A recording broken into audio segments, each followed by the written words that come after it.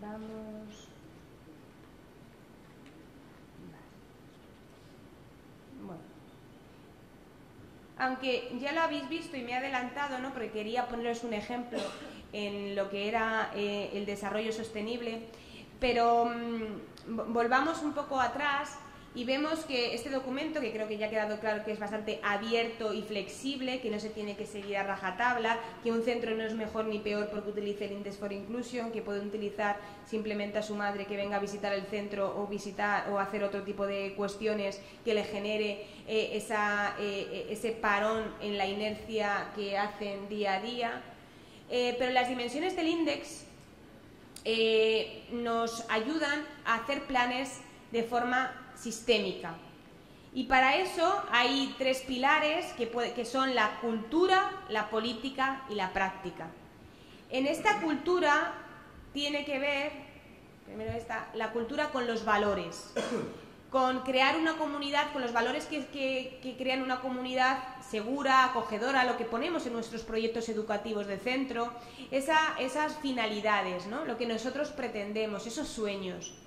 Em, estos valores tienen que ir, eh, en este caso, eh, ellos separan lo que es la cultura, que en realidad son los valores, a través de dos eh, secciones, que es construir comunidad, una comunidad acogedora y estableciendo valores inclusivos. Ellos lo, dividen en estas dos secciones que para vosotros ahora mismo no, no tiene mucha, mucho significado, ¿no? porque no lo habéis utilizado y no, ni falta que hace. ¿no? Pero Em, esta cultura eh, eh, lo que nos quiere transmitir, me gustaría poneros antes otra diapositiva, esto, al final los valores, la cultura, es una, es una parte que no se ve de las prácticas. Muchas veces nos centramos en prácticas, en hacer un plan de patio, pero a veces no estamos dando la misma importancia a todos los estudiantes. A veces hay muchos valores eh, que se tienen que poner en común. Y esto que es realmente lo más dilemático, porque acordar valores es realmente complejo. Y no todos los valores tienen que ser acordados por todo el equipo directivo, ni siquiera por la mayoría. Hay muchísimos valores que no todo el mundo que quiere trabajar eh, creando un proyecto inclusivo va a compartir. Esto es parte del proceso. No se tiene que buscar incansablemente el acuerdo con los compañeros. Hay parte, eh, eh, a veces el index lo que nos hace es que a veces hay contenidos que estamos de acuerdo y hay otros contenidos otros procesos que no queremos abrir porque no estamos completamente en desacuerdo. Entonces, lo que hay que ver es estar en esto, estar pensando, estar en movimiento, estar viendo en qué puedo mejorar. Pero los valores, sin lugar a dudas, es lo más importante y van estrechamente ligados a nuestras políticas. ¿Y ¿Qué serían las políticas? Las políticas tienen que ver con los planes de acogida, la creación de horarios, el vínculo con los apoyos educativos, si hay un proyecto de innovación o no, eh, quién, si, si, mm, el centro es abierto con, otras, con otros profesionales o con otras personas de la comunidad y deja visitarlo o no, etcétera. Es decir, eh, nos hace eh, la política nos hace reflexionar sobre si la, si la inclusión es la base misma del desarrollo de un centro educativo y si consigue realmente empapar, empapar todos los planes y programas que en un centro eh, em, existen.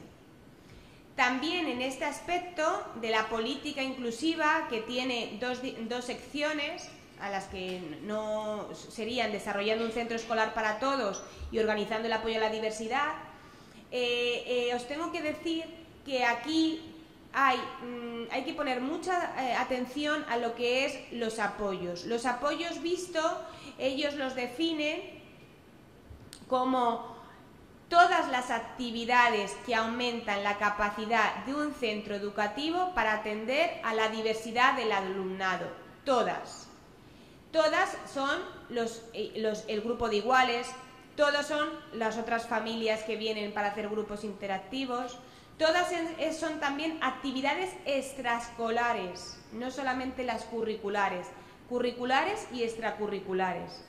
Eh, lo que cada vez es, al menos en la investigación y en todos los informes, también en el INDES, y cada vez hay más gente que, que está un poco trasladando la idea a las administraciones, que el apoyo no solamente se tiene que hablar del apoyo PT o AL a un grupo en determinadas horas, sino un apoyo como una parte continua del proceso educativo que todos los estudiantes pueden necesitar y que todos se tienen que generar en un, eh, en un, mismo, en un mismo cuerpo. Tanto el grupo de iguales eh, como las otras familias, como otro material eh, accesible, como una actividad extracurricular que haga porque consigue una competencia o consigue un objetivo general que, estaba puesto en su plan de, intervención individual, etcétera.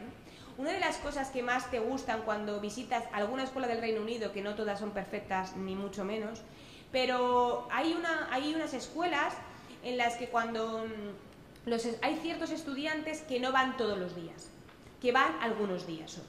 Y hay parte de su, de su jornada curricular que la, que la desarrollan haciendo voluntariado o haciendo eh, en polideportivos. Es decir, ellos por la mañana tienen un horario, pueden ir al centro a dar algunas, algunas áreas curriculares, pero después parte de esa jornada es en el polideportivo o haciendo otro tipo de actuaciones, ¿no? especialmente en secundaria.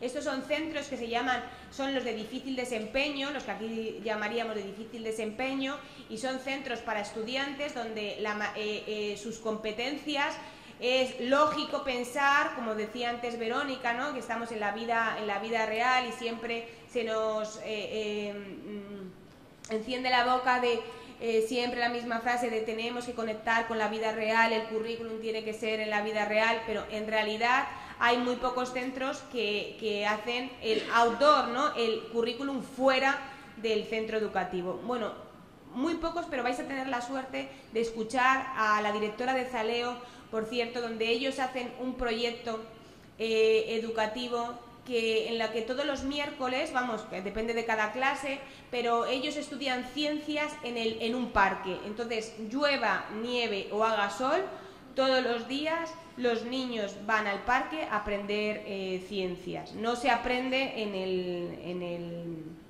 en el, en el aula.